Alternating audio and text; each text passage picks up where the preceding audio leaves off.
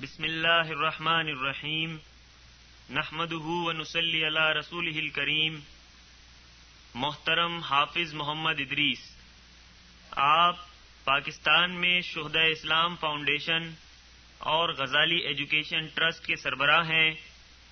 आप सऊदी अरब उम्र की सआदत हासिल करने के लिए तशरीफ़ लाए और जद्दा में अफकार सैयद मौदूदी रहमतुल्लाह अलैह के एक सेमिनार से सैयद मौदूदी रहमतुल्लाह की तसानीफ और मुखालिफिन के मौजू पर खिताब किया। समात फरमाइए, मोहतरम हाफिज मोहम्मद इदरीस।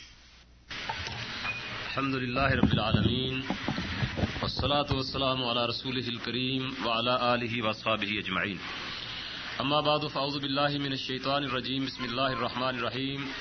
रहीम या अय्युहल्लज़ीना आमनू कूनू कव्वामीन बिल क़िस्त शुहदाअ लिल्लाहि वलौ अला अनफुसिकुम अविल वालिदैनि वल अक़रबीन। सदक़ल्लाहुल अज़ीम। वाजिबुल एहतराम मेहमानान ग्रामी कदर, मुंतजमीन जलसा, मोहतरम बुज़ुर्गों, अज़ीज़ दोस्तों, भाइयों, और मुस्तकबिल की उम्मीद और रोशनी हमारे अज़ीज़ बच्चों। अस्सलाम वालेकुम वरहमतुल्लाहि वबरकातुहू। आज की शाम, अल्हम्दुलिल्लाह, जद्दा के इस हाल में हमने बहुत अच्छे शुरा से उनका कलाम भी सुना और मुख्तलिफ़ मौजूद पर सईद मौदूदी रहमत के हवाले से तकारीर और खिताबात भी सुने और उन मजामी के इकतबासात भी सुने जो सईद मौदूदी रहमत पर हमारे नौजवान तलबा ने लिखे हैं और बिलाशुबा उन इकतसाबात को सुनने के बाद मालूम होता है कि मुस्तबिल में इन ये नौजवान अच्छे अदीब और अच्छे मुसनफ साबित होंगे। सैयद अबुल आला मौदूदी रहमत की हयात तय्यबा के बारे में जैसा बिरादर अज़ीज़ फरीद प्राचा साहब ने फरमाया कि इस मुख्तसर वक्त में कुछ कहना बड़ा मुश्किल है। शख्सियत इतनी जामे और इतनी हमा जहत है कि उस पर तो किताबों की किताबें लिखी जा रही हैं। तस्करा सईद मौदूदी अगर आपने देखी है वो किताब जो जखीम गालिबन इस वक्त तक तीन हज़ार सफहात उसके छप चुके हैं, बड़ी तकतीक है। और अभी मवाद जो हमारे पास मौजूद है, हमारे इदारा मारफ इस्लामी में, वो ऐसी मजीद कई किताबें उससे तैयार होंगी। और लिखने वालों ने जो कुछ भी लिखा है, उसमें कोई किसी तरह तरह की रेपिटेशन नहीं है। कि किसी एक शख्स ने जो कुछ लिखा हो तो दूसरे ने भी वही चीज़ रिपीट कर दी हो। बल्कि उसके मुदीरान ने इन तहरीरों को इस अंदाज में खंगाला है कि रेपिटेशन नहीं है। और इसके बावजूद उनका कहना यह है कि इतना मवाद मौजूद है कि शायद आने वाले कई सालों तक वो इस पर काम करेंगे और उनकी, इन किताबों को मौलाना मोदी रहमत के बारे में तासुरात को शाये करेंगे। कुतब के हवाले से और मौलाना मोदी रहमत का अपने मुखालिफिन के साथ क्या रवैया था, इस हवाले से मुझे मुंतजमीन ने यहाँ पहुँचने के बाद बताया कि मुझे कुछ गुजारिशात पेश करना है।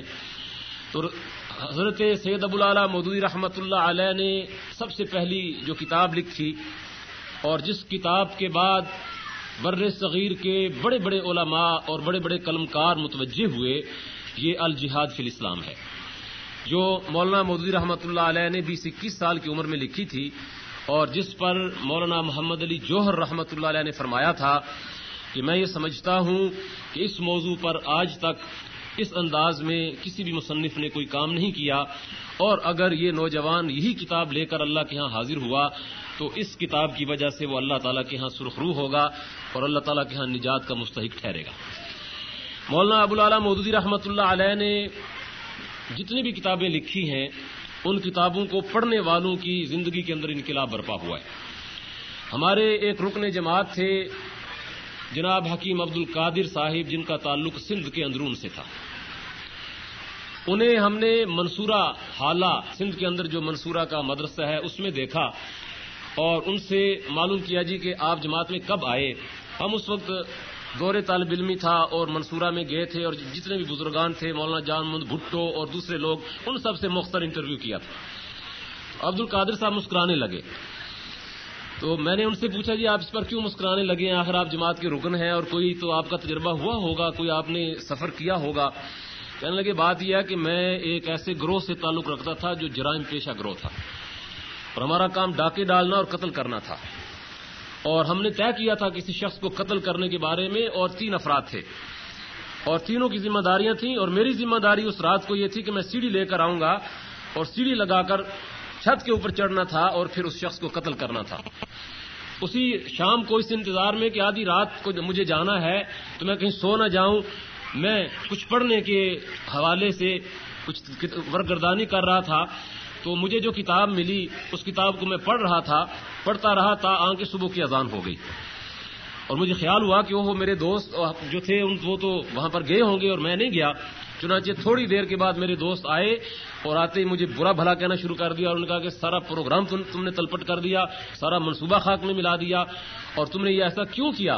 कहने लगे मैंने उन्हें कहा कि भाई अब मैं एक बदला हुआ इंसान हूँ। आज रात मैंने ये किताब पढ़ी और वो किताब थी खुतबात मैंने आज ये किताब पढ़ी है और बस आज के दिन के बाद मेरा और तुम्हारा ताल्लुक खत्म है। और मैं आज के दिन के बाद इस शख्स की बाकी मानदा किताबें जो है, उनकी तलाश में निकलूँगा और मैं अब तुम्हारे साथ नहीं चल सकता। कहने लगे, इस अंदाज में मैं डाका डालने और कत्ल करने के इस शगल से निकल करके जमात की तरफ़ आया था और इस अंदाज में अल्लाह ने मेरी ज़िंदगी को बदल दिया। ये तो खैर पाकिस्तान के अंदर रहने वाले एक शख्स की बात है। मैं अफ्रीका में उन तालिबात को जानता हूँ जिन तालिबात को उनकी मजबूरियों से फ़ायदा उठा करके ईसाई मिशनरियों ने बाकायदा ईसाई बना दिया था, उनको बिल्कुल छोटी उम्र में अपने इदारों के अंदर दाखिल किया, उनको तालीम दी, और वो उनकी पासिंग आउट सेरेमनी थी, जिस संडे को उन्होंने अपने चर्च में जाने की बजाय अपने बिस्तरों में लेटी रहीं और जब उनके पास नन्स आई और उन्होंने कहा कि आप क्यों नहीं निकली अभी तक तो उन्होंने कहा हम नहीं जाएँगी। क्यों नहीं जाओगी? उन्होंने कहा कि हमारा चर्च में कोई काम नहीं है। उन्होंने कहा तेरह साल तो तुम चर्च जाती रही हो और इतने अरसे तुम तुम्हें तालीम दी जाती रही है, बाइबल याद करवाई जाती रही है। तो उन्होंने कहा कि हमें मजबूरन तुमने ईसाई बना दिया था। एक लड़की ने बड़ी हिम्मत करके उसने कहा, मेरा नाम एलिजबेथ नहीं है, मेरा नाम हलीमा है। मैं पहले भी हलीमा थी, मैं आज भी हलीमा हूँ। दूसरी लड़की ने भी इसी तरह से कहा, मैं फातिमा हूँ, मैं खदीजा हूँ, मैं आयशा हूँ। जब तलाशी ली गई तो मालूम हुआ कि उन लड़कियों के सूट केस में रसाला दीन याद का स्वाहिली तर्जमा कटी का कुफाहम इस्लामू पाया गया और इस पर एक शोर हंगामा खड़ा हो गया और ये कीनिया की पार्लियामेंट में भी ये सवाल उठा और उसके बाद इन लड़कियों को जब सर्टिफिकेट देने से इनकार किया गया तो पार्लियामेंट में वहाँ के मेंबर पार्लियामेंट ने यह सवाल उठाया कि बुनियादी हकूक की नफी है कि इन बच्चियों ने तालीम हासिल की उनको सर्टिफिकेट नहीं दिया जा रहा। चुनाचे उन बच्चियों ने जब इस बात का ऐलान किया कि वो मुसलमान हैं और मुसलमान ही की हैसियत से वो ज़िंदा रहेंगी तो उसके बाद वर्ल्ड काउंसिल ऑफ़ चर्चेज ने अपनी एक मीटिंग में ये फैसला किया, जो बाकायदा रिकॉर्ड पर मौजूद है, छपा हुआ मौजूद है, और राव मोहम्मद अख्तर साहब जो यहाँ पर आया करते हैं और आजकल कीनिया के अंदर हैं, वो कई मरतबा उसकी फ़ोटो कापियाँ लोगों में तकसीम कर चुके हैं कि उसमें उन लोगों ने यह फैसला किया कि किसी मुसलमान को ईसाई बनाना नामुमकिन है। मुसलमान को बिगाड़ दो, उसके अखलाक को और उसके किरदार को तबाह कर दो, उसे ऐसी लत डाल दो कि जिसकी वजह से उसकी ज़िंदगी बिगड़ जाए, मगर उसे ईसाई बनाने का ख्याल तर्क कर दो, उसे ईसाई बनाना मुमकिन नहीं है। ये रसाल दीनियात का कमाल था कि जो कीनिया के अंदर उन बच्चियों ने तेरह साल ईसाइत के जेर साया रहने के बाद फिर इस बात का ऐलान कर दिया कि वो मुसलमान है। मौलाना मौदूदी रहमत की किताबों में सबसे अहम किताब जो अमूमन लोगों की नज़रों से नहीं गुजरी है और लोग उसके ऊपर तवज्जो नहीं देते हैं, वो आज के दौर में जो बहस चल निकली है कि आइंदा तहजीबों का तसादम होगा और बड़े अरसे पहले लोगों के नज़दीक ये था कि असले का तसादम होगा और मुख्तलिफ़ फौजों का तसादम होगा और प्रोफेसर हंटिंगटन की ये थ्योरी के बाद कि अब आइंदा सदी में और आइंदा आने वाले सालों में तहजीबों का तसादम होगा। तो मौलाना मोदी रहमत ने आज से निसफ सदी पहले इस्लामी तहजीब और उसके असूल मबादी के अंदर जो चीज़ें बयान कर दी हैं, मालूम होता है कि मगरब के वो फिलासफर और मगरब के दानश्वर आज जो बात कह रहे हैं, पचास साल पहले बड़ी तफसील के साथ सैद मोदी रहमत वो बात कर चुके हैं, कह चुके हैं, लिख चुके हैं और पढ़ने वालों ने इसे पढ़ा है और हजम किया है और उससे मालूम होता है कि उनकी दूर रस निगाहें कितनी दूर तक देखती थी। आज जिस चीज़ को और जिस थ्योरी को हमारे मुसलमान भी एक नई थ्योरी के तौर पर पेश कर रहे हैं, उसको मौलाना मौदूदी पचास साल पहले पेश कर चुके हैं। लेकिन क्योंकि मीडिया उनके हाथ में है, और वो अपनी बात को जिस अंदाज में दुनिया के अंदर फैलाना चाहते हैं, फैला देते हैं, इसलिए कहा जा रहा है कि मगरब की तरफ़ से आज ये थ्योरी पेश की जा रही है। मौलाना मौदूदी रहमत ने जब कहा गया कि अपने मुखालिफिन के साथ क्या रवैया इख्तियार किया था तो किताबों ही के हवाले के साथ मैं इस बात को भी साथ ही अर्ज़ करना चाहता हूँ कि मौलाना मौदूदी रहमत को हमने बहुत करीब से देखा। सिर्फ़ उनकी तहरीरों के ज़रिए से नहीं, बल्कि उनकी शख्सियत को उनकी मजालस में, इनफरादी गुफ्तगुओं में, जलसों में, असरी नशिस्तों में बहुत करीब से देखा और मुझे मौलाना मौदूदी रहमत को उस वक्त ज़्यादा करीब से देखने का शर्फ हासिल हुआ, जब तफीमुल कुरान की जिल्द पंजुम का इंडेक्स तैयार किया जाना था और मौलाना ने फरमाया कि इस वक्त मेरी सेहत इजाज़त नहीं देती, कि मैं इस पर इतनी ज़्यादा मेहनत करूँ तो मैं तुम्हें कुछ दिनों के लिए ये समझाऊँगा और उसके बाद तुम ये इंडेक्स तैयार करो। बाकी जिल्दें जो थी, उससे पहले उनका इंडेक्स खुद मौलाना रहमत ने अपने कलम से तैयार किया था और वो पूरी मुसवदा मुझे दिखाया और मैं ये देखकर भी हैरान हुआ कि इतनी लंबी तहरीरें और उसमें कहीं कांट छांट नहीं है। और अमूमन ये होता है कि लिखने वालों को तजर्बा इस बात का कि अगर आप एक सफ़ा भी लिखें तो कहीं ना कहीं उसमें कुछ न कुछ कांट छांट करना पड़ती है। लेकिन वो पूरे का पूरा मसवदा मैंने देखा और उसकी वर्करदानी की और उसमें कहीं कोई कांट छांट नहीं थी। मौलाना मोदी रहमत ने वो चीज़ें समझाई और बताई और मैंने उस वक्त उनको बहुत करीब से देखा कि मौलाना मौदूदी रहमत किस कदर हरीमुतबा थे, किस कदर मौलाना मौदूदी का जरफ वसी था और किस कदर अपने मुखालिफिन के बारे में जब उनसे गुफ्तगु हुई, सवालत हुए तो उन्होंने किस कदर वसी जरफी का मुजाहरा किया। मौलाना मौदूदी रहमत के मुखालिफिन में किस नोयत के लोग थे? लादीन भी थे। सेकुलर अनासर मौलाना मौदूदी के मुखालिफ थे। हुक्मरान और वक्त के तागूत उनके बड़े मुखालिफ थे। और फरीद पराचा साहब ने इशारात किए तो उन पर गोलियाँ भी चलाई गई, उनको फांसी की सजा भी दी गई और गोलियाँ चलने का मंजर खुद हमने अपनी आँखों से भी देखा। लेकिन मौलाना मौदूदी रहमत के एक मुखालिफ वो थे जो मजहबी तबकात थे। और यहाँ हमारे किसी भाई ने उन मजहबी तबकात के बारे में उनका तमस्कर उड़ाने के अंदाज में कुछ बातें कही हैं।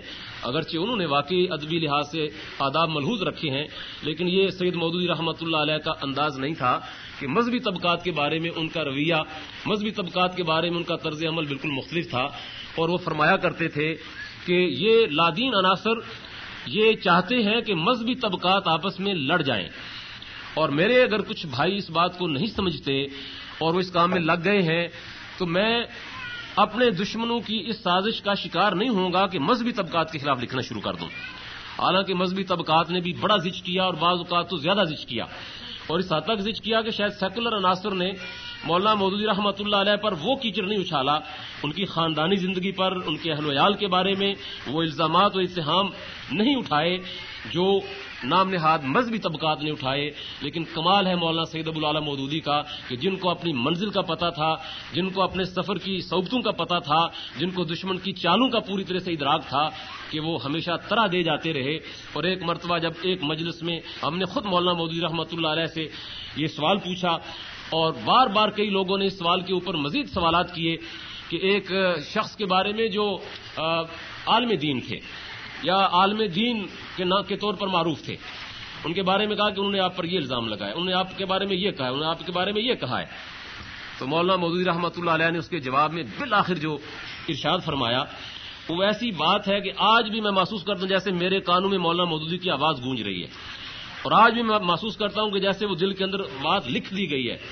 मौलाना ने उनका नाम लेकर फरमाया, जिनका तस्करा हो रहा था। और बड़े अदब के साथ उनका नाम लिया और उसके साथ मौलाना भी लगाया और साहिब भी लगाया। और फरमाया कि उनके पास नेकियों का बड़ा जखीरा है। और शायद अल्लाह ताला ने उनकी नेकियों के इस जखीरे में मेरा कोई हिस्सा रखा हुआ है तो मैं क्यों इनकार करूँ नेकियों का इस ये जखीरा जो मुझे मिल रहा है? एक और मरतबा मौलाना के सामने सवाल किया गया कि ये ओलमा आपके बारे में ये और ये कहते हैं, और जब आप जवाब नहीं देते तो आम लोग समझते हैं कि आपके पास इसका कोई जवाब है नहीं। वरना जवाब हो तो आप इसका जवाब दें। तो मौलाना मौदूदी रहमत ने फरमाया कि जब कभी कोई इल्मी बात होती है खा वो किसी बड़े से बड़े इंसान की, हत्या कि इमाम इबन तैमिया और इमाम राज़ी और इमाम इबन कसीर की भी कोई राय आती है। और मैं समझता हूँ कि उसके अंदर कोई किसी किस्म का झोल है और हर इंसान की राय में झोल हो सकता है, कोई पैगंबर नहीं है वो लोग। बड़े बड़े आइमा भी हैं। फरमाया कि मैं उनसे इख्तलाफ करता हूँ इलमी अंदाज में। लेकिन जहाँ महज इल्ज़ाम और इत्तेहाम और बुहतान है तो वहाँ पर मैंने ये फैसला कर लिया है कि मैं इन लोगों का कोई जवाब नहीं दूँगा। और मैंने इनको एक सख्त सजा देने का फैसला किया है।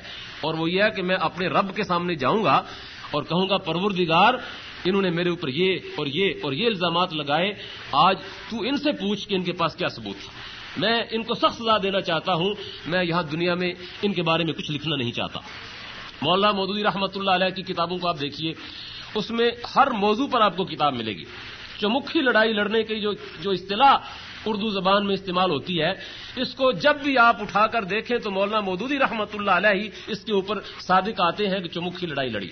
वरना चमुखी लड़ाई कभी कोई लड़ता नहीं है। ये मौलाना मौदूदी का कमाल था। क्या फितने थे? फितना मगरबी इबाहियत का और मगरबी तहजीब की अलगार का फितना था। फितना था कौमियत परस्ती का, जिसने बिल आखिर मुल्क को दोलखत किया और जो आज भी हमारे बाकी मादा मुल्क के अंदर एक बहुत बड़ा नासूर हमारे लिए बन चुका है। मौलाना मोदी रहमत के दौर में कम्युनिज्म की यलगार का फितना था कादियानियत का फितना था और फितना इनकार हदीस था, जिसकी सरकारी सरपरस्ती अयूब खान के दौर में नुकता रूज पर पहुँच गई थी। मौलाना मोदी रहमत ने इन सारे के सारे उमूर के ऊपर मुस्कित जवाब दिया। सुन्नत की आईनी हैसियत, मुनकरीन हदीस का वो जवाब है कि हकीकत यह है, पूरे इस्लामी लिटरेचर में आज तक इस मौजू पर, इस नोयत की कोई किताब तसनीफ नहीं हुई है। मुस्कित जवाब है जिसके बाद पता चलता है कि इनकार हदीस, फिल हकीकत इनकार कुरान है। और यह बात बड़ी अहम है कि वो कुरान के नाम से हमला करते हैं, और अहले कुरान और कुरान के हवाले से वो लोगों के जहन मसमूम करते हैं। तो मौलाना मोदी रहमत ने दलाइल से साबित किया है कि इनकार हदीस करने वाले हकीकत में कुरान के भी मुनकर हैं। ये बहुत अहम बात है, बड़ी अहम। ये फैसला अभी हाल ही में कुवैत के अंदर हुआ है। तो वहाँ की अदालतों ने फैसला दिया है मुनकरीन हदीस के खिलाफ। और ये खुशी की बात है कि उसमें मौलाना मोदी रहमत की सुन्नत की आईनी हैसियत का तर्जुमा पेश किया गया था अदालत में। और अदालत ने उसी की बुनियाद पर यह फैसला दिया है कि इनके अकायद और इनके ख्याल बातिला हैं। और मुसलमानों को इनके ख्याल और इनके अकायद के बारे में बहुत मोहतात होना चाहिए। क्योंकि इनके अकायद को इख्तियार करने के बाद बिल आखिर मंजिल वही आती है कि जिसमें एक शख्स सिर्फ़ मुसलमानों के कब्रस्तान में दफन होना चाहता है, कुरान और सुन्नत और इस्लाम की किसी बात को मानना नहीं चाहता उस पर कोई अमल नहीं करना चाहता। ये फैसला अभी हाल ही में कुवैत के अंदर हुआ है। मौलाना मौदूदी रहमत ने तफहीमत और तनकीहत में मगरबी ख्याल और मगरबी जानब से हमला जो किया गया था इस्लाम के मुख्तलिफ़ पहलुओं के ऊपर खा वो गुलामी का मसला हो खा वो तद अजवाज का मसला हो, वो जिहाद का मसला हो। इन सारे के ऊपर, सब सवालात के ऊपर मौलाना मोदी रहमत ने बहुत मुस्कित जवाब दिया है, दलाइल के साथ जवाब दिया है। और ऐसा नहीं किया कि उन लोगों को यह कहकर कि ये तो गुमराह है और उनके ऊपर कोई फतवा लगा दिया। फतवा कहीं नहीं लगाया। उनके ख्याल को मिनवान पेश किया, उसकी खामियाँ वाजे की और अपना नुकता नज़र, उसके बाद लोगों के सामने रख दिया मौलाना मौदूदी रहमत ने रसायल व मसाइल में इस अंदाज में कलम उठाया है कि वो जो रवायती अंदाज के हमारे फोकहा थे, जिन्होंने इजतहाद के दरवाजे बंद करके और मुकम्मल तौर पर जमूद का शिकार हो गए थे और जो लकीर के फकीर बन बैठे थे, मौलाना मौदूदी रहमत ने उसके मुकाबले में ये बात बताई कि कुरान सुन्नत की नसूस तो बिल्कुल गैर मुबदल है। लेकिन जहाँ जहाँ कुरान सुन्नत की नसूस ने हमें आज़ादी दी है सोच विचार की तो कुरान सुन्नत की रोशनी में हम सोच विचार कर सकते हैं, मसाइल का हल तलाश कर सकते हैं। और इंसान को अल्लाह तबारक व ताला ने अंधेरे में नहीं छोड़ा है कि वो अंधेरे में रहे और अपनी अकल को इस्तेमाल करना बंद कर दे, बल्कि जो रोशनी अता की है, उस रोशनी के साथ अल्लाह ने इस बात का हुक्म दिया है कि अपने अकल की रोशनी को भी इस्तेमाल करो।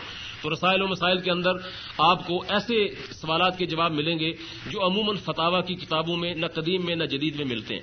कदीम में इसलिए नहीं मिलते कि उस दौर के मसाइल नहीं थे, और जदीद में इसलिए नहीं मिलते कि जदीद दौर में इजतहाद का दरवाज़ा बंद कर दिया गया था। लेकिन हर दौर अपने मसाइल अपने साथ लेकर आता है और वो अपने मसाइल का जवाब चाहता है और उन तमाम के तमाम मसाइल का जवाब मौजूद है, बशर्ते के मौदूदी रहमत की फ़िक्र अल्लाह तबारक वाली अता करे और उस फ़िक्र के पीछे चलने की लोगों को हिम्मत और तोफीक और सादत बख्शे।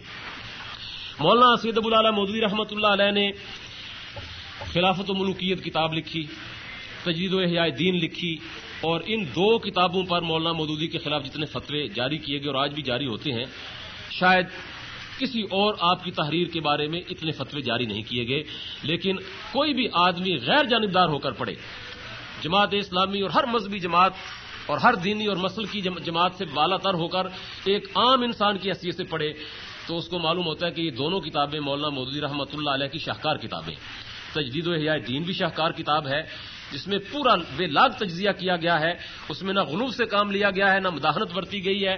पूरे इंसाफ के साथ बताया गया है कि तहरीकें किस अंदाज में उठती रहीं और क्या क्या कामयाबियाँ हासिल की और हालात ने कहाँ कहाँ उनको बेबस कर दिया। खिलाफत मुल्कियत के अंदर भी तारीख को इस अंदाज में पेश किया है कि जिसके नतीजे में ये मालूम हो कि खिलाफत अला मिनहाजिन नबूवत कायम की गई थी। उसको मुल्कियत में तब्दील करने के लिए क्या क्या फैक्टर जो थे, वो कार फरमा थे। और उसके बाद वो मुल्कियत में तब्दील हो गई और उसका क्या नुकसान हुआ। मौलाना मौदूदी रहमत ने तफीमुल कुरान का ज़िक्र किया, फरीद पराचा साहब ने। हकीकत यह है कि मौलाना मौदूदी ने इंसानियत पर बड़ा एहसान किया है। ये तफीमुल कुरान आज के दौर में इंसानियत के लिए बहुत बड़ा खजाना है। अल्लाह तबारक वाली की किताब की तफसीरें बहुत लिखी गई हैं, बहुत लिखी जाएँगी। और बहुत सारे मुफसरीन की तफासिर को देखने का इतफाक हुआ है। मौलाना मौदूदी रहमत का अपना एक अंदाज, अपना एक रंग है, बाकी मुफसरीन का अपना अंदाज है। हर मुफसर ने हीरे मोती और जवाहिर निकाले हैं कुरान मजीद की तहों के नीचे से। ये बहर जखार है और इसमें बिलाशुबा बहुत कुछ है। हर मुफसर का कारनामा उम्मत के लिए एक एहसान है। हर मुफसर जिसने कुरान की सही तफसीर लिखी है, वो उम्मत का मोहसिन है। लेकिन मुफसरीन की तफसीरें पढ़ते हुए एहसास होता है कि मुफसर अपने कारी को ये बताता है कि तुम्हें अपनी मंजिल तक पहुँचना है तो वो बैठकर अपने मकाम के ऊपर बैठकर उसको रास्ता बता रहा है कि इतने कदम तुम सीधे चले जाओ, वहाँ एक चौक आएगा, वहाँ से बाएँ मुड़ जाना, फिर एक मैदान आएगा, मैदान के साथ साथ चले जाना, फिर दाएँ तरफ़ चले जाना, एक तालाब आएगा। यानी इस अंदाज में गोया कि वो आपको बताता है, अपने मकाम पे बैठा हुआ। और बड़ी मेहनत और कोशिश के बाद आप पहुँच जाते हैं। लेकिन साहिब तफीमुल कुरान का अंदाज क्या है? साहिब तफीमुल कुरान का अंदाज यह है कि वो अपने कारी की उंगली हाथ में पकड़ लेते हैं। कारी बिल्कुल ये महसूस करता है कि किसी ने मेरी उंगली पकड़ ली है। उसे लेकर चल रहे हैं। अब उसे ये फ़िक्र लाहिक नहीं है कि वो तालाब कब आएगा। उसे मालूम है कि जिसने मेरी उंगली पकड़ी है, तालाब के पास से गुजरते मुझे बताएगा कि ये तालाब है। बिल्कुल उसकी उंगली पकड़कर उसकी मंजिल पर पहुंचकर कहते हैं, ये है तेरी मंजिल। इसके बारे में तू जानना चाहता था और ये ये है, यहाँ, या अपनी मंजिल के ऊपर आकर इसको देख ले। बिल्कुल ये अंदाज है, मौलाना अबुल आला मोदी रहमत का अपनी तस्वीर में। कोई बड़े से बड़ा फिलासफर, कोई बड़े से बड़ा मुख्तलिफ़ उलूम का जाम आदमी और कोई मॉडर्न तालीमत से बहरावर आदमी, तसीमुल कुरान को पढ़ते हुए ये नहीं कह सकता कि उसकी प्यास नहीं बुझी है। या उसके जो मखसूस उलूम है, उन उलूम के बारे में यहाँ उसे कुछ नहीं मिला है। और एक अनपढ़ देहाती आदमी, एक दहकान, जो उर्दू पढ़ना जानता है, वो उसको पढ़कर ये नहीं कह सकता कि मुझे अब किसी उस्ताद के पास बैठकर इसको समझने की ज़रूरत है। वो भी उसको आसानी से समझ सकता है, और बहुत बड़े से बड़ा फिलासफर और बहुत बड़े से बड़ा हकीम, वो भी इसको पढ़कर ये नहीं कह सकता कि मेरी तशफी नहीं हुई है, सबकी तशफी इसके अंदर मौजूद है। और ये कमाल है सैद आला मौजूद रहमत का, कि अल्लाह ताला ने उनको इस दौर में ये तोफ़ी अता फरमाई। मौलाना मौदूदी रहमत ने तहरीक आज़ादी हिंद और मुसलमान में जो बातें कही थी, बिल्कुल उसी तरह से, जिस तरह से कम्युनिज्म के मास्को में पनाह न मिलने की बात कही थी और सरमायादाराना निज़ाम को मगरबी दुनिया के अंदर पनाह न मिलने की बात की थी, इसी तरह से मौलाना मोदी रहमत ने पाकिस्तान के क्याम से पहले हिंदू की जहनीत के बारे में, अंग्रेज़ की जहनीत के बारे में, मुसलमानों के मुतालबात और उनकी हक्कानियत के बारे में बहुत अच्छे अंदाज में तजिया किया। और मुस्लिम लीग ने उस जमाने में उन मजामी को किताबचों की सूरत में मुल्क भर में फैला दिया कि वो दो कौमी नज़रिए का एक बहुत ही बेहतरीन तजिया और इस्तलाल था, जैसा इस्तलाल उससे पहले किसी के पास न था।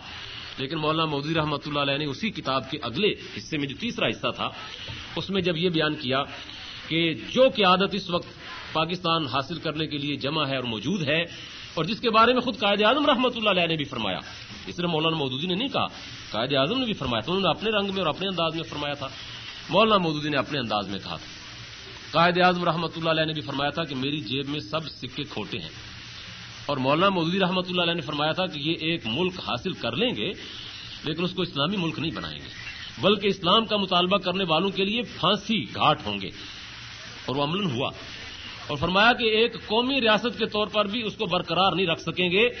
और आप जानते हैं कि उन्नीस सौ इकहत्तर में वो सानहा हो गया, जो मौलाना मोदी रहमत ने फरमाया था कि एक कौमी रियासत के तौर पर इस मुल्क को इकट्ठा नहीं रख सकेंगे। इसलिए कि इनके शब रूज इनकी सोच और इनका पूरा पस मंजर उनके सामने था। मौलाना मौदूदी रहमत ने ये कोई पेशीन गोइयाँ नहीं की थी, बल्कि ये बसीरत की बात है। हालात को देखने वाला, हालात का तजिया करने वाला ठीक हालात का तजिया कर रहा था। ये कोई गैब की बातें नहीं थी जो मौलाना मौदूदी ने बताई हो। ये अकल और दानिश की बातें थी, ये बसीरत की बातें थी और अल्लाह तला ने उस शख्स को बड़ी बसीरत अता फरमाई थी। मौलाना मदूदी रहमत पर यह इल्ज़ाम लगा कि उन्होंने पाकिस्तान की मुखालफत की है। हालाँकि उन्होंने पाकिस्तान की मुखालफत नहीं की थी उन्होंने ये इशारा दिया था कि पाकिस्तान को सही मानों में इस्लामी रियासत बनाने के लिए जिस नोयत की क्यादत की ज़रूरत है, बदकिस्मती से वो इस वक्त मौजूद नहीं है। और कायद आज़म रहमत को भी इसका इदराक था, इसका एहसास था और उसका इजहार भी उन्होंने किया था। और मौलाना मौदूदी रहमत को पाकिस्तान के क्याम के फ़ौरन बाद उन्होंने मौका दिया कि वो रेडियो पाकिस्तान से तकरीर करें, जिसमें इस्लाम के पूरे नजरियात, मुआशी नज़रिया सियासी नज़रिया, उसका समाजी नज़रिया, उसका तालीमी नज़रिया, ये सारे नजरियात इस्लाम के जो उनको पेश करें। अगर मौलाना मौदूदी पाकिस्तान के मुखालिफ होते तो क्या में पाकिस्तान के फ़ौरन बाद बानी पाकिस्तान इस बात की कतनी इजाज़त न देते कि उनको रेडियो पाकिस्तान से तकरीर करने के लिए दावत दी जाती। और ये किताबें छपी हुई हैं, और हमजा साहब बता रहे थे किताबों के कई एडिशन छपे। पाकिस्तान में, उर्दू ज़ुबान में इस किताब के छप्पन एडिशन छप चुके हैं। छप्पन एडिशन इस किताब के नशरी तकरीरें के पाकिस्तान में छप चुके हैं। इंडिया में जो छपे हैं, वो इसके अलावा हैं और इनके तर्जमे जो हुए हैं, वो इसके अलावा हैं। मौलाना मदूदी रहमत ने पाकिस्तान बढ़ने के फ़ौरन बाद जो कारनामा सर अंजाम दिया, वो इस्लामी दस्तूर का मुतालबा था। तुर्की के नजमुद्दीन अरबकान ने आज से कोई आठ, नौ साल पहले जब वो जेल से रिहा होकर उस जमाने में आए थे और पाकिस्तान हमारे एक इज्तिमा में तशरीफ़ लाए थे तो एयरपोर्ट पर उतरते ही जब हमने उनका इस्तेमाल किया और गाड़ी में बैठे और जा रहे थे तो उन्होंने कहा, पाकिस्तान के लोगों, तुम बड़े खुशकिस्मत हो। जब तुम्हारे यहाँ दस्तूर बन रहा था तो सैयद मौदूदी मौजूद था, जो इस बात को जानता था कि दस्तूर की क्या अहमियत होती है, और उसने इस्लामी दस्तूर का मुतालबा उठाया था, हमारे यहाँ जब दस्तूर बनने लगा था तो हमारे यहाँ कोई मौदूदी मौजूद नहीं था। आज हम अपनी आँखों से जो कांटे, आप अपनी पलकों से जो कांटे चुन रहे हैं, तुम्हारे रास्ते में वो कांटे नहीं है। जब भी इस्लाम और गैर इस्लाम की बात आती है तो तुम्हारा हुक्मरान तबका जो कुछ भी करता रहे, तुम्हारा दस्तूर तुम्हारे साथ खड़ा होता है। उनके साथ खड़ा नहीं होता है। जबकि हम जब इस्लाम की बात करते हैं और दस्तूर की तरफ़ मामला जाता है तो दस्तूर उनके साथ खड़ा होता है और हम मुजरमों के कुटहरे में खड़े होते हैं। तुम्हारे लिए सैयद मौदूदी ने जो कारनामा सर अंजाम दिया है, पाकिस्तान में शायद तुम उसकी कदर नहीं जानते, तुर्की में बैठकर हम उसकी कदर जानते हैं। और हकीकत यह कि यह बहुत बड़ा कारनामा था, जो मौलाना मौदूदी रहमत ने सर अंजाम दिया कि आज के दिन तक जो भी सेकुलर हुकूमत हमारे यहाँ आई, जो मार्शल लॉ भी आया, जो कुछ भी आया, लेकिन करारदाद मकासद की सूरत में जो एक मरतबा ये तय हो गया था कि ये रियासत मुसलमान रियासत है और इसने कलमा गोया पढ़ लिया है और हाकमियत आला अल्लाह ताला की है तो इस करारदाद मकासद ने फिर किसी भी दस्तूर में से इन लोगों को अपनी मनमानी तावील करने का मौका नहीं दिया। ये एक इतना बड़ा कारनामा है जिस पर हम वजह तौर पर सीद मोदी रहमत को खराज तसीम पेश करते हैं। ये उन्हीं की फ़िक्र थी और ये उन्हीं की काविश थी। मौलाना सैद अबुल आला मौदूदी रहमत ने मुखालफी के बारे में जो नुक़ नज़र इख्तियार किया वो ये था कि जो लादीन कुतें और लादीन अनासर इस्लाम के ऊपर हमलावर होते हैं, उनका जवाब देना ज़रूरी है, लेकिन उनकी शख्सियत से दुश्मनी नहीं है। ये बड़ी अहम बात है। आज इस वक्त आप अगर हमसे ये पूछें कि मियाँ नवाज़ शरीफ साहब के बारे में आपका नुकता नज़र है तो मुझे उनसे कोई जाती दुश्मनी नहीं है। हालाँकि इस साल के आगाज़ में, माह फरवरी में जो हमारे साथ जो कुछ बीता था मुझे आप देख रहे हैं, मेरी उम्र भी देख रहे हैं, मेरी दाढ़ी भी देख रहे हैं, मेरे वालिद साहब, अलहमदुल्ला, हयात हैं। मुझे भी और मेरे वालिद साहब को भी और हमारे पंद्रह सौ अफराद को जिस अंदाज में गिरफ़्तार किया गया था, ये सब लोगों को मालूम है। इसके बावजूद, उन लोगों के साथ कोई जाति प्रकाश हमें नहीं है। जो कौमी जराइम उन्होंने किए हैं और जो उनकी सजा हो सकती है यकीन वो उनको मिलनी चाहिए। और अगर कोई जुर्म नहीं है और ये साबित हो जाता है कोई जुर्म नहीं है तो उनको सजा नहीं मिलनी चाहिए। मौलाना मौदूदी रहमत को भुट्टो ने जिस जिन अल्फाज से खिताब किया था और भुट्टो ने जिस अंदाज में मौलाना मौदूदी को इजाएँ पहुंचाई थी और जिस तरह चुन चुन के जमात इस्लामी के कीमती अफराद को कत्ल करना शुरू किया था तो इसके बावजूद मौलाना मौदूदी रहमत के पास जब वो चलकर आया था तो वो दिन हमें याद है और वो शाम हमें याद है कि मौलाना मौदूदी रहमत ने उस पर किसी तलखी का इजहार नहीं किया था। मौलाना मौदूदी के पास वो आया, उसने खुद दरखास्त की कि मैं मिलना चाहता हूँ। पीएनए की तहरीक के दौरान में। सब लोग लीडर जेलों में बंद थे। मौलाना के पास आया, मौलाना ने उसका इस्तेमाल किया। बाद लोगों को इस बात का तजुब हुआ कि मौलाना, आप क्यों बाहर दरवाजे पर इस्तेमाल करें? उन्होंने कहा, मौलाना ने फरमाया कि ये मेरा मेहमान बनकर आया है और कोई भी हो तो मेहमान बनकर जो आता है तो इस्लामी आदाब है कि उसका इस्तेमाल किया जाए। बैठ गया। बातचीत जब हुई तो मौलाना रहमत ने फरमाया कि आप मुझसे कोई मशवरा करने के लिए आए हैं या वैसे कोई बात मुझे बताने के लिए आए उसने कहा, जी, मैं बात बताने के लिए भी आया हूँ और मशवरा करने के लिए भी आया बात बताने के लिए आया हूँ कि बस अब झगड़ा खत्म हो गया। मैंने शराब पर पाबंदी लगा दी है, जुए पर पाबंदी लगा दी है। जुमे की छुट्टी का फैसला हो चुका है तो अब तहरीक को खत्म हो जाना चाहिए। और मैं आपसे मशवरा ये लेने आया हूँ कि अब इसके बाद मुझे पीएनए के लीडर्स को राज़ी करने के लिए क्या तरीका इख्तियार करना चाहिए? तो मौलाना रहमतुल्लाह ने उससे ये कहा था कि भुट्टो साहब, आपने जो काम किए हैं, आज का एजेंडा ये नहीं है। आज कौम ये मुतालबा नहीं कर रही कि आप शराब पर पाबंदी लगाएँ और जुए पर पाबंदी लगाएँ और रेस पर पाबंदी लगाएँ। आज कौम ये मुतालबा कर रही है कि आपने रिगिंग की है। आप इकतदार छोड़ें और मुनसिफाना और आजादाना इंतबात का रास्ता निकालें। अगर आपने ये बात आज नहीं मानी तो कल कौम फिर ये मुतालबा भी नहीं करेगी कि इंतबात हो। कल कौम आपसे सर का मुतालबा करेगी। कौम कहेगी, हमें इसका सर चाहिए। भुट्टो को उस वक्त ये बात जो है समझ में नहीं आई। उसने कहा कि मेरे सर का मुतालबा करेंगे। क्यों? मेरी कुर्सी तो बड़ी मज़बूत है और मैं तो बड़ा पॉपुलर हूँ। मौलाना मोदी रहमतुल्लाह ने उसको जो बात नसीहत के अंदाज में कही वो ये थी कि आपके ये सारे काम जो कॉस्मेटिक अंदाज में आप कर रहे हैं, इनकी मिसाल इस तरह है, जिस तरह एक देग आपने तेज आँच के ऊपर रखी हुई है और दूध उबल रहा है उसमें। और उसको नीचे गिरने से बचाने के लिए आप उसमें बर्फ़ की एक डली डाल देते हैं और आग और ज़्यादा भड़का देते हैं। इस अंदाज में वो न दूध गिरने से बचेगा और न इस अंदाज में आपका मंसूबा कामयाब होगा। इसका तरीका यह नहीं है कि उसमें बर्फ़ की एक डली डाली जाए। इसका तरीका यह है कि आग बुझाई जाए। और आग बुझाने का रास्ता और तरीका यह है कि आप यानी कि सब लीडर्स को रिहा करें और आप इस्तीफा दें और उन्हें कहें कि आइए मिलजुल कर बैठ करके मुस्तकबिल का नक्शा जो है वो बनाते हैं और इस बात से लोग जो है वो आप की, की, पर इतमाद भी करेंगे और कोई रास्ता भी खुलेगा। उसने कहा नहीं ये नहीं हो सकता। तो मौलाना ने फरमाया कि ठीक है और आपकी अपनी मर्ज़ी है मैंने तो आपको मशवरा दिया है और नासिहाना मशवरा दिया है। अब उसने ये बात नहीं मानी तो आपको मालूम है कि फिर नतीजा क्या निकला। मौलाना मदूरी रहमत ने जिस जिस शख्स के बारे में भी कभी भी कोई मौका ऐसा आया कि उसने आपके साथ ज्यादती की थी और फिर वो मजबूर होकर आपके पास आया मौलाना मौदूदी ने कभी भी उसके बारे में किसी तलखी का इजहार नहीं किया। जब मौलाना मौदूदी रहमत पर गोलियाँ चलाई गई थी तो सिकंदर हयात, जो उस जमाने में डीएसपी था और निगरानी कर रहा था, उस सारे ऑपरेशन की, उसे बावले कुत्ते ने काट लिया। और आप लोगों को मालूम है कि बावले कुत्ते के कांटे का इलाज अल्लाह ताला ने मौलाना मौदूदी रहमत के खानदान में एक चीज़ वदियत की है कि वो बावले कुत्ते के कांटे के जख्म के ऊपर अपने मुँह में पानी डालकर कुल्ली कर देते हैं और अल्लाह ताला शिफा दे देता है। और कई इस तरह के केस आए।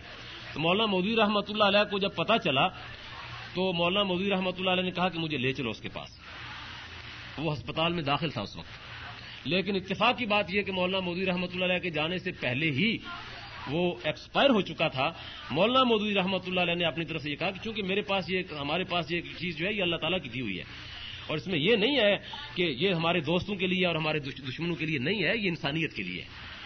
और मुझे अगर इस वक्त आप बता रहे हैं, मुझे पहले आपने बताया होता तो मैं पहले उसके पास चला जाता। और मौलाना मोदी रहमत के जरफ का इससे पता चलता है कि किस किस किस कदर बड़ा जरफ था और किस कदर उन्होंने लोगों के साथ अपने मामलात में खुदा खोफी का अहतमाम कर रखा था। मौलाना मोदी रहमत की ये तहरीक, जो हकीकत में उनकी जानशीन है, ये दुनिया के मुख्तलिफ़ मुल्कों में अल्हम्दुलिल्लाह जारी है। जमात इस्लामी के नाम से पाँच मुख्तलिफ़ खितों के अंदर ये काम कर रही है। श्रीलंका में जमात इस्लामी श्रीलंका काम कर रही है। हिंद में जमात इस्लामी हिंद है, बांग्लादेश में जमात इस्लामी बांग्लादेश है, पाकिस्तान में जमात इस्लामी पाकिस्तान है, और कश्मीर के दोनों हिस्सों में जमात इस्लामी मकबूजा कश्मीर और आज़ाद कश्मीर के नाम से काम कर रही है। मौलाना मौदूद रहमत की जानशीनी उनकी किताबें कर रही हैं, उनकी तहरीक कर रही है, और बेशुमार वो लोग हैं कि जिन्होंने मौलाना मौदूदी को देखा नहीं है। मसूद एजादी जिस तरह बात कर रहे थे अमेरिका की दुनिया के मुख्तलिफ़ खितों में आप चले जाइए, दूर दराज जंगलों में चले जाइए, आपको कहीं ना कहीं कोई ना कोई शख्स ऐसा मिलेगा जो ये आपको बताएगा कि मौलाना मौदूदी की फलां तहरीर उसने पढ़ी है और उसके दिल के अंदर ये रकम है। तो ये अल्लाह ताला ने मौलाना मौदूदी की तरफ़ से एक सदका जारिया है, जो पूरी इंसानियत के अंदर फैला दिया है और इस वक्त ज़रूरत इसी बात की है कि मौलाना मौदूदी रहमत ने जो बात कही थी और फरीद साहब ने जो अशार अलामा इकबाल के पढ़े और जो टीप का शेर था और जो सारे उसकी जिस था, वो पढ़ना शायद भूल गए कि फितना मिलत बैजा है, इमामत उसकी जो मुसलमान को सलातीन का प्रस्तार करे। तो ये असल बात थी जो मौलाना मोदी रहमत ने अपनी तहरीरों के ज़रिए से नहीं, अपनी जद्दोजहद के ज़रिए से बताई कि इस उम्मत के मसाइल का हल ये है कि इस उम्मत को अल्लाह की हुक्मरानी के ऊपर और रसूलुल्लाह वसल्लम की शरीयत के ऊपर मुतफिक किया जाए और सलातीन की परस्तारी से इसको निकाला जाए। सलातीन खा वो मोरूसी सलातीन हो या वो फौजी डिक्टेटर हो या वो नाम निहाद जमहूरियत के नाम पर आकर और तमाम के तमाम हकूक को सलब करने और डाका डालने के मुर्तकब हों, इन सबसे हटा करके किसी ऐसे निज़ाम के अंदर जिस निज़ाम में उनका हुक्मरान उनका खादिम हो और वो निज़ाम अल्लाह की शरीयत, अल्लाह के नबी की शरीयत का निज़ाम है। अल्लाह की किताब का निज़ाम है। उसके लिए मौलाना मोदी रहमत ने जद्दोजहद की थी। उसी के लिए हम लोग जद्दोजहद कर रहे हैं।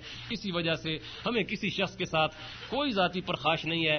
जो लोग भी इस रास्ते के ऊपर आ जाएँ, हमारे सारे के सारे वो भाई हैं। हम सब के हक में ये दुआ करते हैं कि अल्लाह ताला सबको ये तोफ़ी अता फरमाए कि उन्होंने जो ला इला मोहम्मद रसूल जबान से अदा कर दिया है तो इसके अमली तकाजों को पूरा करने के लिए भी हम कदम हो जाएँ। उस काफिले के जो काफिला इस झंडे को लेकर निकला है, मेरी अल्लाह तबारक वाली से दुआ है कि अल्लाह ताला सैद मौदूदी रहमत की काविशों को कबूल फरमाए, उनको करवट करवट जन्नत नसीब करे और उनका लगाया हुआ ये पौधा जिसके आज हम और आप अमीन हैं, अल्लाह तबारक वाली हमें इसकी आबियारी करने की तोफीक बख्शे। वाखिर रबालमीन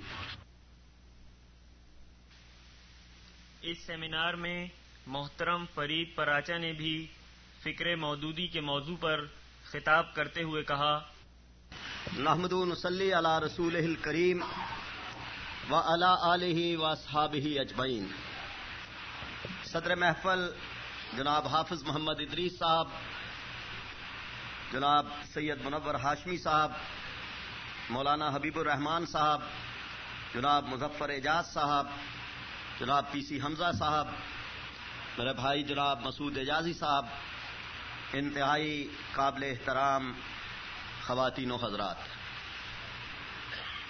आज की शाम फ़िक्र मौदूदी के चराग जलाने के लिए हम सब यहाँ जमा हैं। एक अहद साज शख्सियत के बारे में कि जिसकी ज़िंदगी और जिसके अफकार के बेशुमार पहलू हैं। वो अपनी तहरीर की सतर सतर और हर्फ हर्फ में इनकलाब की बिजलियाँ भरने वाले एक साहिब तर्ज अदीब थे। वो दिलों में इनकलाब की जुस्तजू और तड़प पैदा करने वाले एक दाइए इस्लाम थे। वो कैसे खतीब थे कि जिनके अल्फाज की वजाहत और जाहो जलाल के सामने हवाएँ थम जाती थीं और वो तख्त दार पर मुस्करान कर तख्त दार को चूमने वाले फातह तख्त दार एक मुजाहिद इस्लाम थे। हैं हज़ारों उसके पहलू, रंग हर पहलू का और। इतने महदूद वक्त में मौलाना सैयद अबुल आला मौदूदी रहमतुल्लाह अलैह के बारे में इख्तिसार के साथ बात करना और उसके हक अदा करना किसी सूरत भी मुमकिन नहीं है। हकीकत यह है कि आज उनको हमसे पिछड़े हुए 20 साल गुजर चुके हैं, लेकिन वो आज भी ज़िंदा हैं। अपने अफकार में ज़िंदा हैं, अपनी बर्पा की हुई तहरीक की सूरत में ज़िंदा हैं, अपने कलम से बिखरे हुए मोतियों की सूरत में ज़िंदा हैं और कश्मीर से लेकर शीशान तक बहने वाले खून शहादत के कतरे कतरे के अंदर ज़िंदा हैं। मौलाना सैयद अबुलाला मौदूदी रहमत के बारे में उनके अफकार के और उनके की हैसियत दाइए इस्लाम की और पाकिस्तान के लिए उनकी जो खिदमात हैं, उसके बारे में इजमालन कुछ बातें मैं आपकी खिदमत में अर्ज़ करूँगा।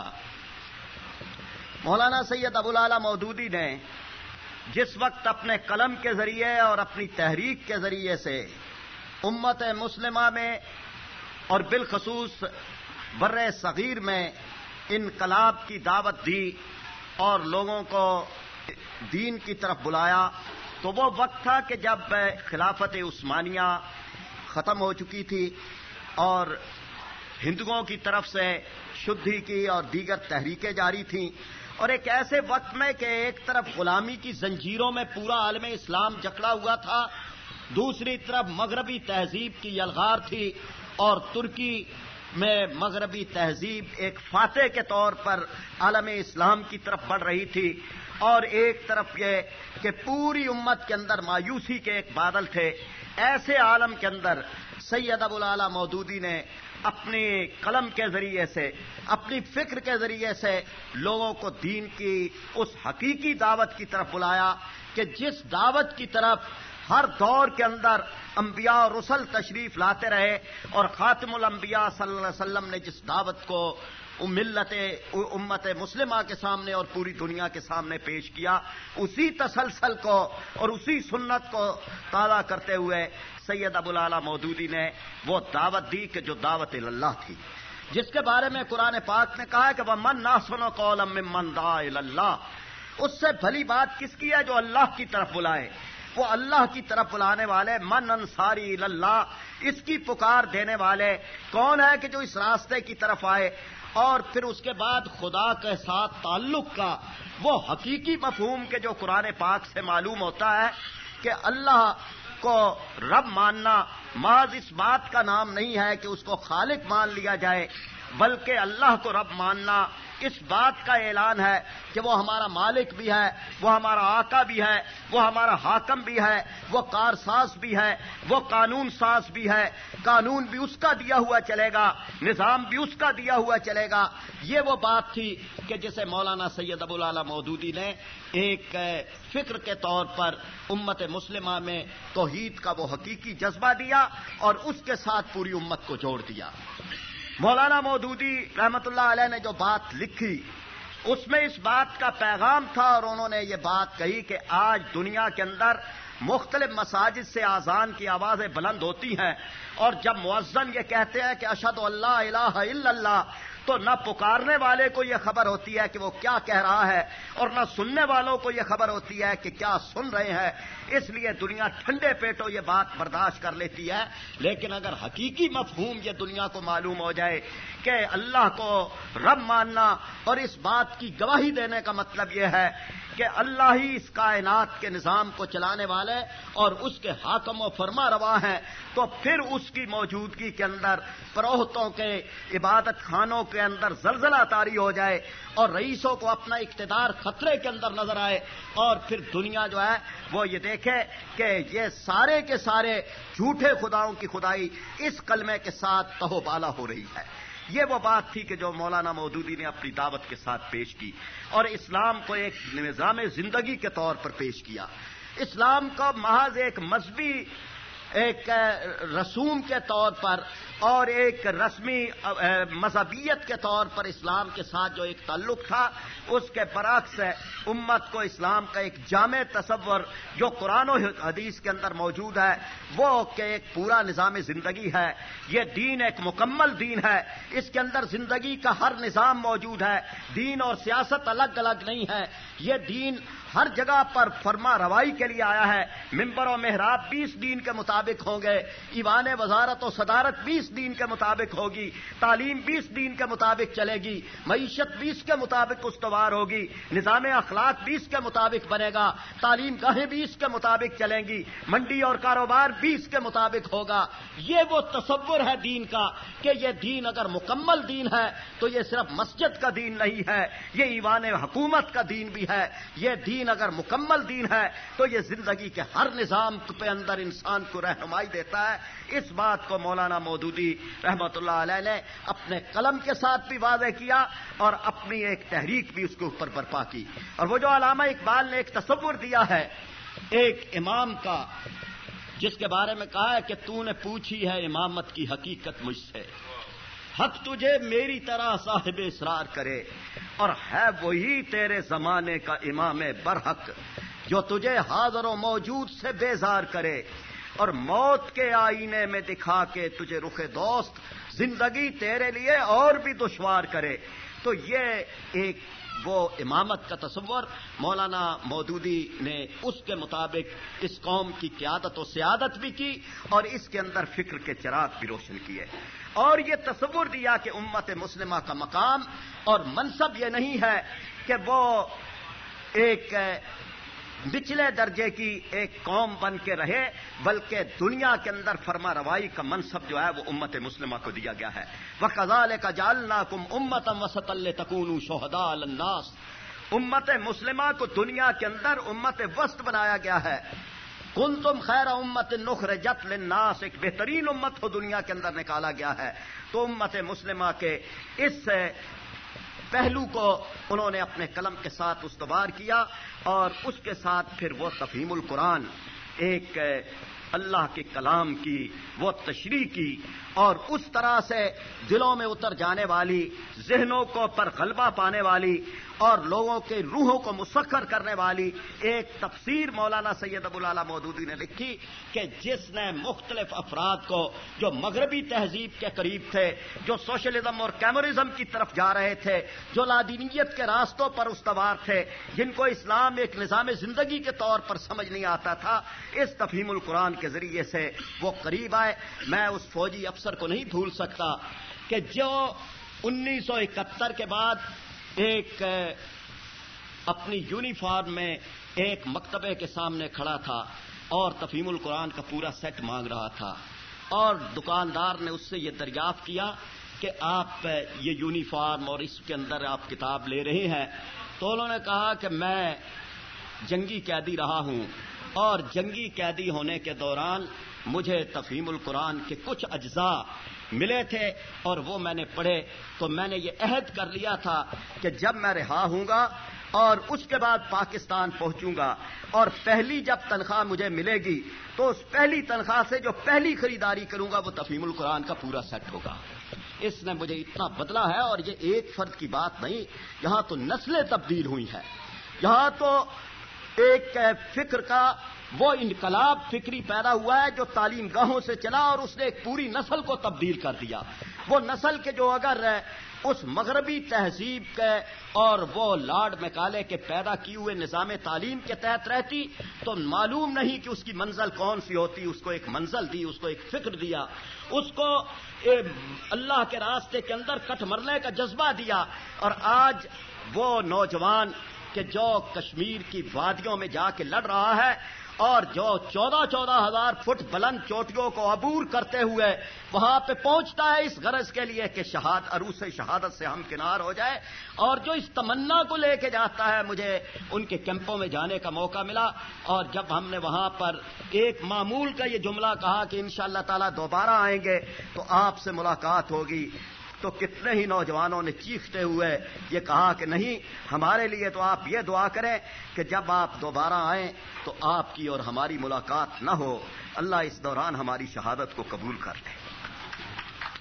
ये वो ये वो इनकलाब है कि जो उस तफहीम ने, जो खुदा के उस कलाम ने और जो मौलाना मौदूदी के लिटरेचर ने पैदा किया, जो अल फिल इस्लाम ने पैदा किया। और इसी तरह से जो मगरबी तहजीब के गलबे के दिलों के ऊपर नक्श थे, उसको पर्दा ने और इसी तरह तनकी हाथ ने और उनकी किताबों ने उसको लोगों के जहनों से उतारा। मौलाना मौदूदी ने बंदगान खुदा को मुनजम भी किया, एक तहरीक भी बर्पा की और ये तस्वुर भी दिया कि ज़िंदगी के अंदर से मुनाफ्कत को निकाल दो, तनाकस को निकाल दो और ज़िंदगी का पूरा निज़ाम अल्लाह के हवाले, इंसान का पूरी ज़िंदगी का निज़ाम खुदा के हवाले हो। तथहीर अफकार, तामीर अफकार, तंजीम, तरबियत, दावत और इनकलाब, ये उस तहरीक का एक पूरे मदारज हैं, जिस तहरीक को उन्होंने बर्पा किया। फिर इस तहरीक की दावत किसी फिरके की दावत नहीं, किसी फिरके के खिलाफ दावत नहीं फिरकों से और उन नए ग्रोह बंदियों से और इलाकाइत परस्ती से और मुख्तलिफ़ झगड़ों से बुलंदो बाला करते हुए मौलाना मौदूदी ने दीन के उस हकीकी तस्वर के साथ लोगों को जोड़ दिया और इसी तरह शख्सियत परस्ती के बजाय अफकार के साथ लोगों को वाबस्ता किया और मौलाना मौदूदी की सीरत का और ज़िंदगी का ये अहम पहलू है कि यह इस्तेकामत का एक अजीम कोहे गरा है कि जिसने अपनी अमली ज़िंदगी के साथ इस्तेकामत का एक मफहूम सिखाया, समझाया है। वो जो कुरान पाक के अंदर इस्तेमाल किया कहा गया है कि वो लोग के जो कहते हैं रब नल्ला सुम मस्तकामू कि हमारा रब अल्लाह है, फिर साबत कदम हो जाते हैं। तो मौलाना सैयद अबुल आला मौदूदी ने साबत कदमी का ये मुजाहरा किया कि जब तख्त दार पर उनको, उसका हुक्म दिया गया और कहा गया कि आप माफ़ी मांग लें तो वो जो उन्होंने उस मौके पर जुमले कहे, वो तारीख के अंदर जुमले रकम है। उन्होंने कहा कि मैं जालमों से रहम की अपील नहीं करूँगा। मौत और ज़िंदगी के फैसले जमीनों पर नहीं, आसमानों पर होते हैं। और अगर मेरी मौत का वक्त आया है तो कोई टाल नहीं सकता। और अगर मेरी मौत का वक्त नहीं आया तो मुझे लटकाने वाले उल्टे भी लटक जाए, मुझे नहीं लटका सकते। ये वो इस्तकामत है कि जब तिरसठ की इज्तम के अंदर गोलियाँ चल रही थी तो लोगों ने कहा कि मौलाना, आप बैठ जाए, आप निशाना है। तो उस इस्तेकामत के कोहे गरा ने कहा कि अगर मैं बैठ गया तो खड़ा कौन रहेगा? मौलाना सैयद अबुल आला मौदूदी, मुकाबला भी है। और मुकाबले की भी कैफियत वो है कि ये उसी का ज़िक्र था कि हर हाल में जख्म सहता रहा, खून पीता रहा। और तुमने दामन उसी का दरीदा किया जो तुम्हारे गरीबान सीता रहा। क्या कम्युनिज्म के साथ मुकाबला, सोशलिज्म के साथ मुकाबला इलाकाइत के साथ इलाकाइत प्रस्ती के साथ मुकाबला? कहाँ कहाँ है कि जहाँ मौलाना मौदूदी और उसकी तहरीक नज़र नहीं आती? जहाँ पर कम्युनिज्म के साथ मुकाबला है, वहाँ पर मौलाना सैयद अबुल आला मौदूदी रहमतुल्लाह के ये अल्फाज, तारीख के अंदर ये रकम है कि ये मुल्क मोहम्मद अरबी सल्लल्लाहु का मुल्क है, किसी माओ और लैनन का मुल्क नहीं है। और जब तक हमारे सर हमारी गर्दनों पर कायम है, किसी को भी ये हम हक नहीं दे सकते और किसी को यह हक नहीं पहुँचता कि इस मुल्क के अंदर सोशलिज्म और कम्युनिज्म की बात कर सके। और ये फिर वो लोग कि जो इलाकाइत की तरफ़ बुलाते, जो कौम को तकसीम करने वाले लोग हैं, उनके मुकाबले के अंदर मौलाना मौदूदी ने वो सही तस्वुर दिया। फिर पाकिस्तान की पूरी तारीख के अंदर आइन की जद्दोजहद है आमरीत का मुकाबला है, दस्तूर साज असम्बलियाँ तोड़ी गई हैं, मार्शल नाफिज हुए हैं। हकीकत यह है कि हमारे मुल्क की यह बदकिस्मती है कि हमारी बावन साल की तारीख में 25 साल मार्शल लॉ रहे हैं और 10 साल ब्यूरोक्रेसी की हुकूमत रही है। और इस तरह से वो एक हम इस शिकंजे के अंदर जकड़े जाते हैं कि यहाँ पर वो एक कार्टून अभी नेशन के अंदर शाया हुआ था कि डेमोक्रेसी का एक उस्ताद पढ़ा रहा है, डेमोक्रेसी लिखा हुआ है और वो ये कहता है कि ये डेमोक्रेसी शुरू होती है एबीसी से। लेकिन एक्स वाई जेड तक इसलिए नहीं पहुँचती कि दरमियान में जीएचक्यू आ जाता है।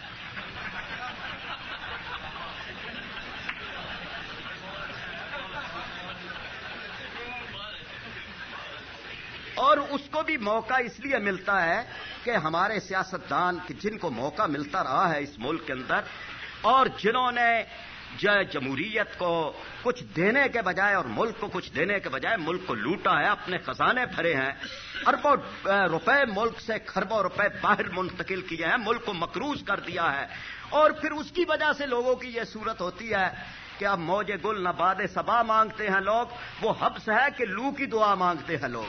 फिर जब इतना हब्स होता है तो लोग कहते हैं, इसके बजाय जो है वो फौजी आ जाए।